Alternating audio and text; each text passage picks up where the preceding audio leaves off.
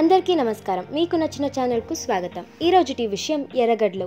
దానికంటే ముందు మా ఛానల్ని సబ్స్క్రైబ్ చేసి తర్వాత మేము అప్లోడ్ చేసే వీడియోలని ముందుగా చూడడానికి కిందున్న బెల్ బటన్ని నొక్కండి.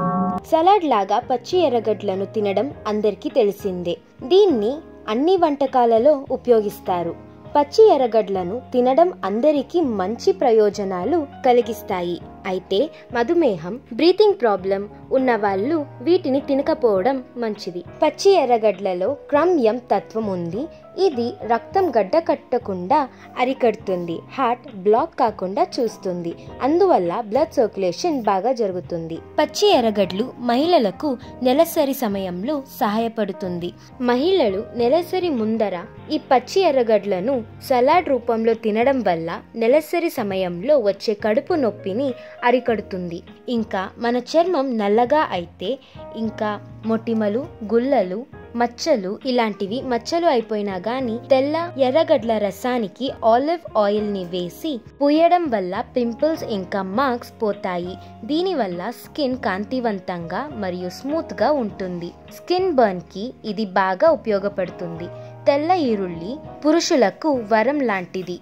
మరియు దాన్ని తెలుసుకోవడానికి ఈ వీడియో ఆఖరి వరకు చూడండి. హార్ట్ ప్రాబ్లం ఉన్న వారికి ఈ పచ్చి ఈరుల్లి చాలా మంచిది. ఎందుకంటే రక్తనాళాలలో రక్తం గడ్డ కట్టకుండా బ్లాకేజ్ కాకుండా చూస్తుంది. పచ్చి ఈరుల్లిల రసంలో ఆవాల నూనె కలిపి కీళ్ళకి ఇంకా మోకాలికి పూస్తే నొప్పి తగ్గుతుంది. కాన్స్టిట్యూషన్ సమస్యకి పచ్చి ఈరుల్లి సలాడ్ని ప్రతిరోజు తినండి. కిడ్నీ స్టోన్ సమస్య ఉన్నవారు ఖాళీ కడుపుతో ఈరుల్లి రసాన్ని తాగటం వల్ల స్టోన్ బయటకు వస్తుంది. ఈరుల్లి రసానికి హనీ కలిపి తాగితే దగ్గు రాదు పాత దగ్గు కూడా తగ్గిపోతుంది. వెంట్రుకలు రాలడం వల్నెస్ లేదా బట్టతల తెల్ల వెంట్రుకలు ఇలాంటి సమస్యకు ఈరుల్లి రసాన్ని తలకి పెట్టుకొని ఇరవై నుంచి ఇరవై ఐదు నిమిషాల వరకు వదిలి కడిగేయండి. కొంతమంది మగవాళ్ళు శక్తిహీనంగా ఉంటారు. అందువల్ల వాళ్ళు వాళ్ళ భార్యతో టైం స్పెండ్ చేయడానికి ఇష్టపడరు. దీనికి తెల్ల ఈరుల్లిని నెయ్యిలో కలిపి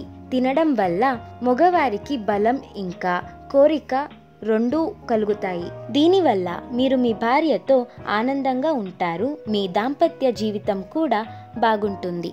మా వీడియో మీకు నచ్చినట్టయితే లైక్ చేయండి సబ్స్క్రైబ్ చేయండి ఫ్రెండ్స్తో షేర్ చేయండి.